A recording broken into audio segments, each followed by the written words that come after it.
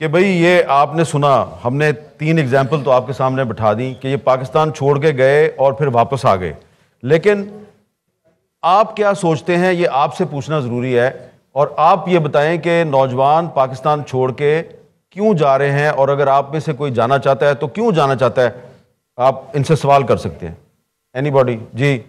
Aslam sir. Sir मेरा नाम नुमान अशरफ है और मैं एम फिल में मीडिया डिपार्टमेंट का स्टूडेंट हूँ और एक निजी चैनल में न्यूज़ प्रोड्यूसर की जॉब कर रहा हूँ। हम्म। सर अभी बताया गया यहाँ पे कि एक साल में छः लाख लोग पाकिस्तान से बाहर जाते हैं। हम्म। तो सर मेरा आपसे ये सवाल है कि हमारी यूथ पहले ये देखा जाता है कि यूथ बाहर जाती है। तो सर हमारी गवर्नमेंट को इसमें कोई रोल प्ले करना चाहिए ताकि जो हमारी यूथ है वो मुल्क से बाहर क्यों जा रही है? अब तो ये है कि हर बंदा ये सोचता है कि यार पाकिस्तान में हमारा फ्यूचर नहीं है। अब सर देखें मैं एक एम का स्टूडेंट हूँ मैं एक जॉब भी कर रहा हूँ। मैं उतना वो नहीं कर पा रहा कि मैं अपने पेरेंट्स के लिए या अपनी फैमिली के लिए कुछ कर पाऊँ। तो लाइक सर हमारी गवर्नमेंट को चाहिए क्योंकि कोई ऐसा रोल आप आप अब सवाल नहीं कर रहे ना आप सजेशन दे रहे हैं। जी सर। अब आपका सवाल आ गया। अब सवाल दें जी कोई किसी के पास कोई सवाल हो असलकुम मेरा नाम राना मोहम्मद मज़र ख़ान है और मैं यू एम टी से बी एस सॉफ्टवेयर इंजीनियरिंग कर रहा हूँ। और मेरा सवाल ये है कि पाकिस्तान में एम बी बी एस का जो डिग्री है, सबसे अहम वो है, क्योंकि उसका स्कोप अब पाकिस्तान में बहुत ज़्यादा चल रहा है। तो हर साल पाकिस्तान में तकरीबन चार लाख बच्चा एम बी बी एस के लिए एम डी कैट का टेस्ट देता है। तो तकरीबन पैंतीस सौ सीट्स होती हैं डॉक्टर्स की। तो पाकिस्तान में इतनी इम्प्रूवमेंट क्यों नहीं हो रही कि हमारे मुल्क में डॉक्टर्स क्या आ, कम पैदा हो रहे हैं या हमारे मुल्क में डॉक्टर्स के लिए मेडिकल कॉलेजेस क्यों नहीं बन पा रहे? तो इस वजह से जो बाकी तीन लाख सतानवे हज़ार बच्चे हैं वो किधर जाए फिर? ये ठीक है आपका एक सवाल है। आप इसका जी आप दें। Uh, एक तो he had very valid question कि M B B S is a very good degree but मैं एक एम बी बी एस नहीं हूँ but because I had the right career counselling and the right advisory I I could go into biology with a skill niche instead of doing an MBBS degree. That's where career counseling comes in. Hmm. ये भी एक image है कि पहले आप छः साल डॉक्टरी करो फिर आप ये करो अगर आप एक अच्छे काउंसलर के पास पहुँच जाओ तो आप एक एम एस सी साइंस करके बहुत अच्छी स्किल सर्विसेज़ में पहुँच सकते हो। इस वक्त दुनिया में जो सबसे ज़्यादा टॉप हॉस्पिटल या लैब है कैंसर में वो कहलाती है माउंट आई उसकी लैब का जो इंचार्ज है वो पाकिस्तानी है। और डॉक्टर नहीं है। And is not a doctor अच्छा। Is not doctor he is is a biologist Bhatti साहब। इज़ अ बायोलॉजिस्ट और उसकी तनख्वाह दो two point five million dollar है साल की। और वो डॉक्टर तो नहीं आपका कहने का मतलब ये है कि जिन बच्चों के अच्छे नंबर आते हैं ज़रूरी नहीं वो डॉक्टर बने। बिल्कुल। है ना? कुछ और भी they can find a skills another niche अच्छा और जी इधर से कोई सवाल? हाँ जी बेटा आप ये ये बच्ची को दे दें।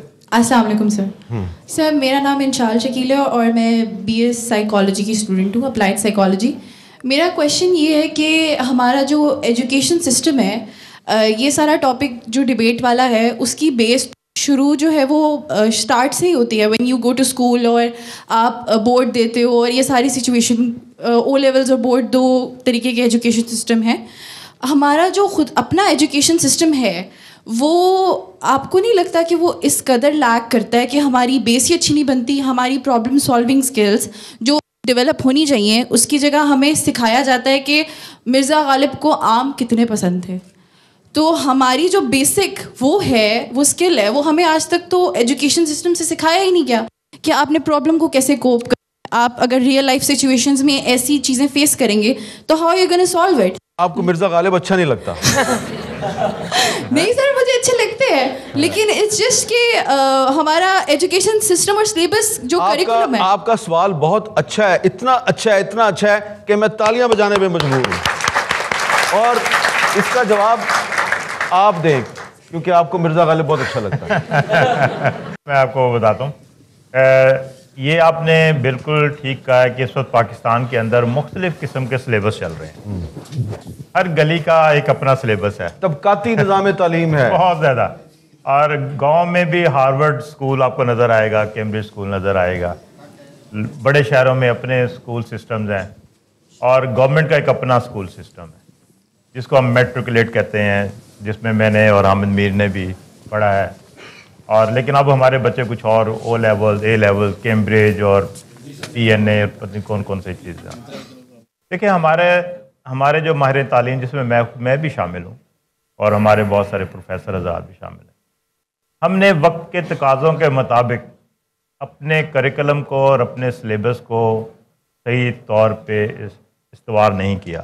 कि जो इंटरनेशनल चैलेंजेस हैं, जैसे अभी आपने क्रिटिक क्रिटिकल थिंकिंग की बात की है प्रॉब्लम सॉल्विंग की बात की है एनालिटिक थिंकिंग की बात की है। ये हमारे मेट्रिकुलेट के सिस्टम में नहीं है। वहाँ पे आज भी रटलाइजेशन है। आप रट लें, ये सिलेबस रट्टे से बाहर आ जाए तो आप बाइकाट करते हैं कि ये आउट ऑफ़ सिलेबस आ गया है। तो ये ऐसा है और हमने इसके ऊपर बारहा आवाज़ उठाई है। हमारी एजुकेशन मिनिस्ट्रियों को हमने कहा है कि आप इसको रीवैम्प करें हमारे सिस्टम को। ताकि हमारे बच्चे भी जो आपका ओ लेवल का सिलेबस है या ए लेवल के सिलेबस है, या इसके मुताबिक जो मुख्तलिफ़ सिलेबस उसके बाद एट पार आ सकें। ताकि हमारे बच्चों को भी वही अपॉर्चुनिटीज़ मिले जो दूसरे और ये इसमें कैपेबिलिटी है हमारे, इसमें कोई शक नहीं है कि हमारे हम कर सकते हैं, लेकिन हमारे पास वो विल नहीं है जिसको हमें करना चाहिए। और ये बड़ा ही सीरियस इशू है, और इसीलिए हमारे तबकात फैलते जा रहे हैं।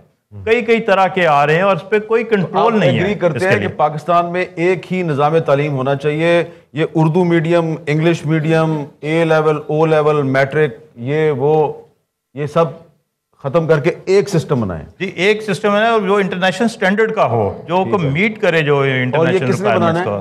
ये हमारी गवर्नमेंट की पूरा डिपार्टमेंट्स हैं इसके ऊपर पूरी मिनिस्ट्री है। ये हमारी एक्चुअली पार्लियामेंट ने बनाया। पार्लियामेंट ने इसके